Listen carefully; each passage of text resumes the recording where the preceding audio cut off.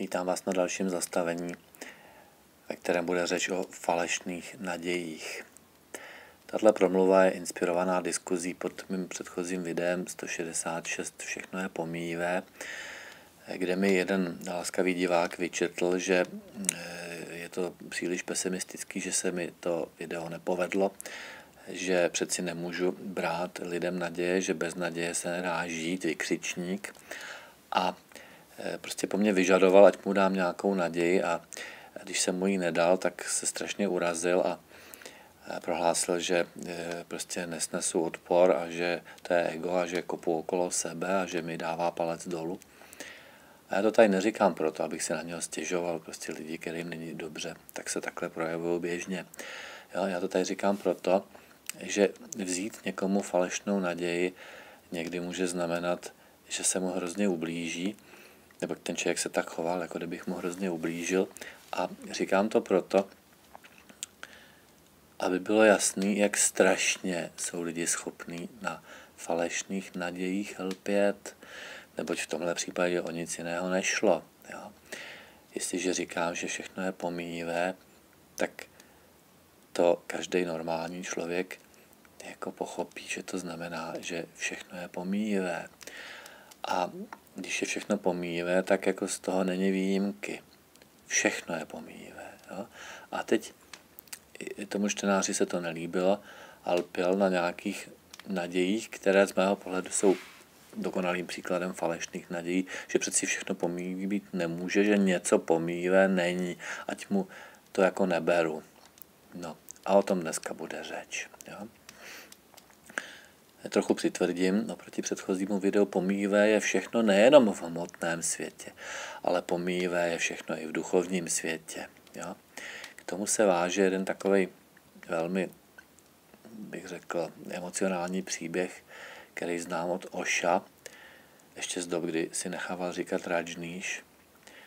A tam popisuje prastarou eh, vlastně bajku, nebo co to bylo, indickou, o slavném vládci Chakravartimu, který sjednotil Indii a když umřel, tak přišel do nebe a tam právem žádal zápis svého jména na horu Meru, což byla taková jako podsta eh, mimořádně významným lidem, kteří něco obrovského dosáhli.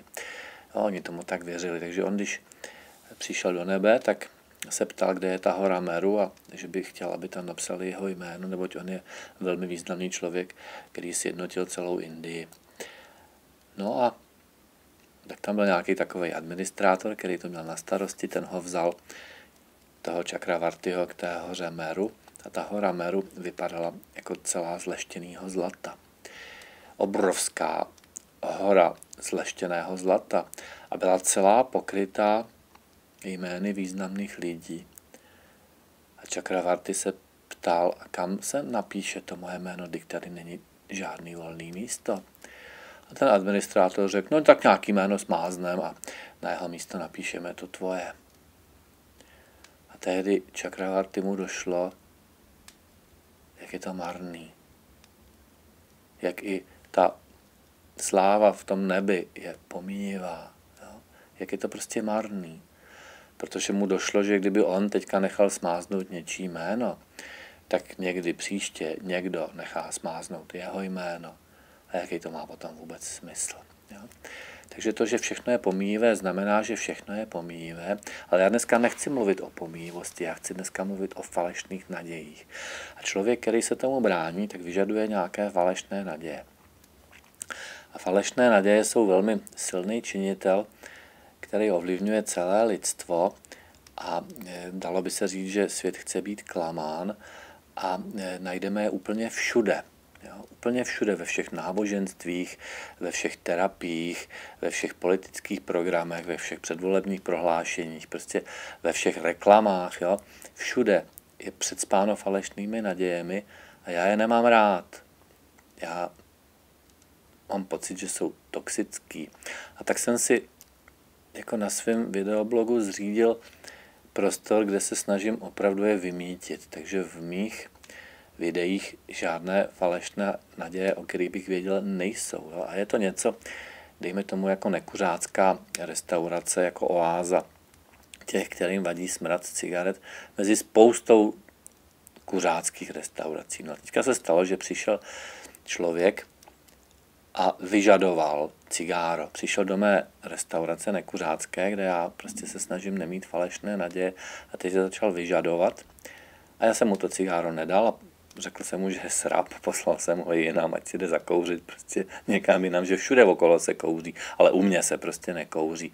A on to neunesl. Jo?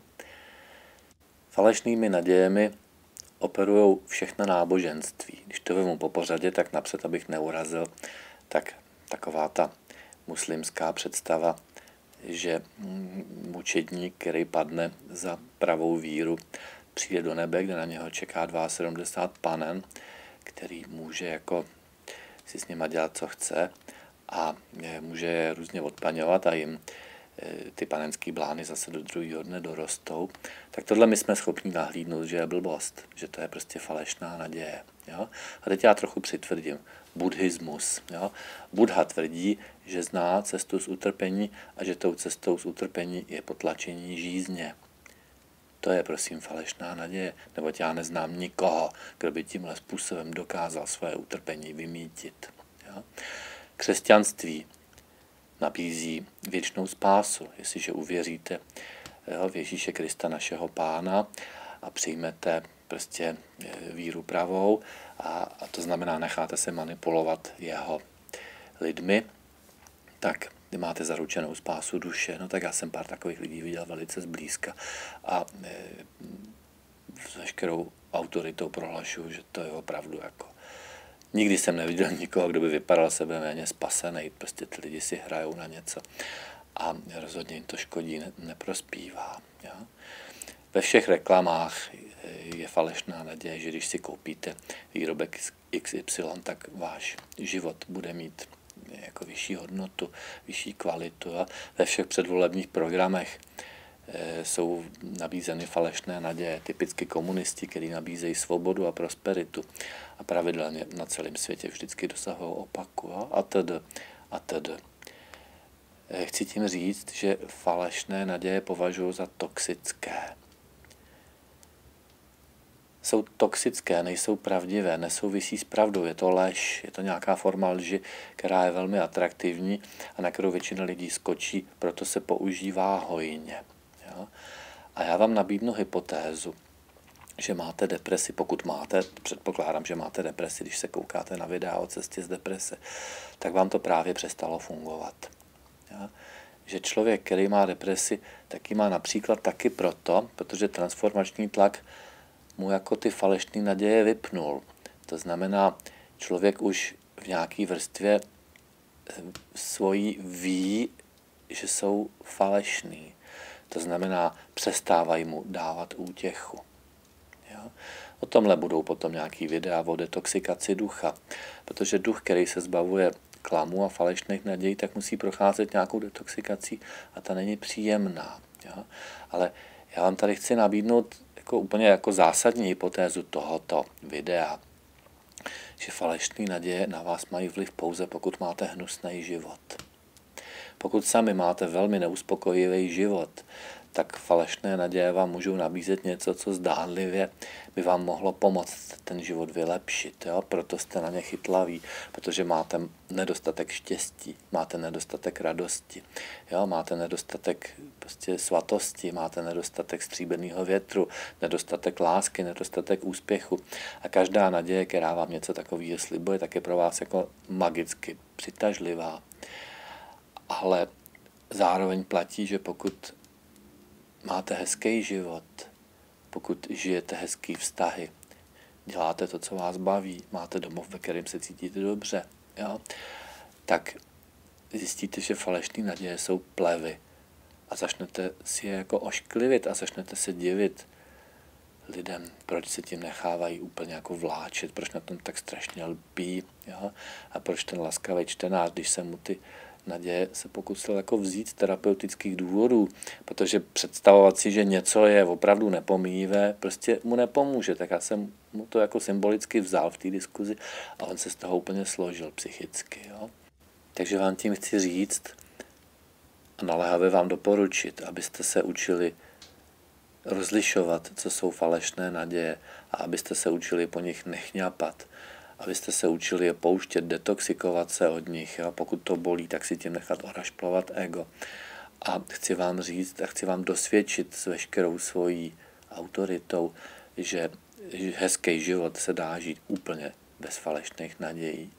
A k tomu vám přeju zejména hodně lásky ve všech podobách.